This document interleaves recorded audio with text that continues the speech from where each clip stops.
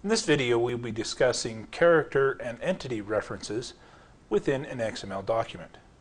Now, character and entity references are used when we need to have our parser display symbols that are not either not found on the keyboard or that can confuse the parser because they are symbols used within an XML document. Now, right here is an example of a character reference. Begins with the syntax, the ampersand, and then the character number, ending with a semicolon.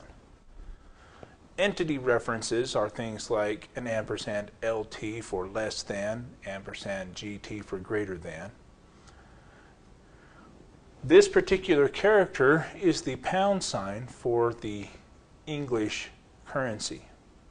That is not found on our US English keyboards. Therefore, we use the character reference to display that. And those are character references within XML documents.